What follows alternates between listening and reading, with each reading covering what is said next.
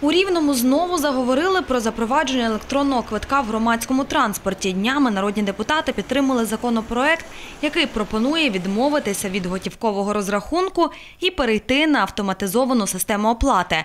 Водночас закон нікого не зобов'язує. Місцеві чиновники самі мають визначати, вводити їм таку систему чи ні. Це є такий поштовх для того, щоб вони могли це зробити, і щоб у них не було перепон. Власне, в законі було чітко написано, що електронний квиток може бути.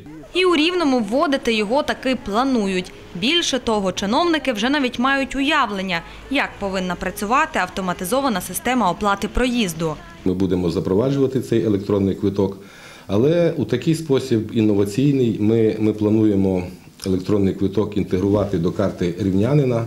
Введення електронного квитка дозволить контролювати пасажиропотік та кошти, які люди сплачують за проїзд. На практиці система працюватиме так: маршрутки та тролейбуси обладнають валідаторами, щитувальними пристроями, до яких перекладатиметься картка для оплати проїзду.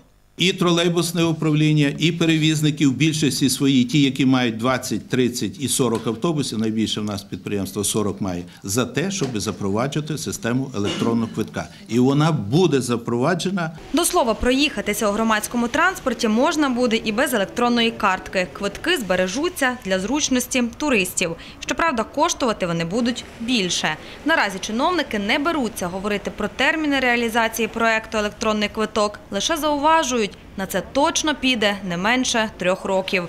Тетяна Климчук, Дмитро Хитрий. Інформаційна програма День.